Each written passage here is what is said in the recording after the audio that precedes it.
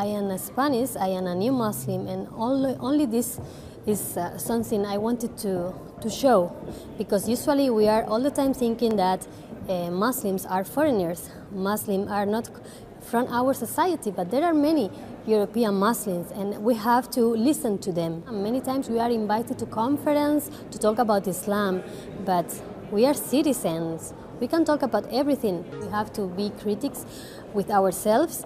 Of course, Muslim, we have to communicate better and communicate uh, uh, more. We have to open our mosque, we have to open our houses and explain to, to the people how we are, what it means for us, what is the meaning of uh, the Prophet Muhammad for us, why we pray five times per day, and what we say while praying. We have to communicate better. But on the, on the other hand, media and, and, and political uh, leaders, they have to be prepared and ready to listen to us. In this conference, I am very happy to be here. It's a good opportunity for me, but I miss more practicing Muslims.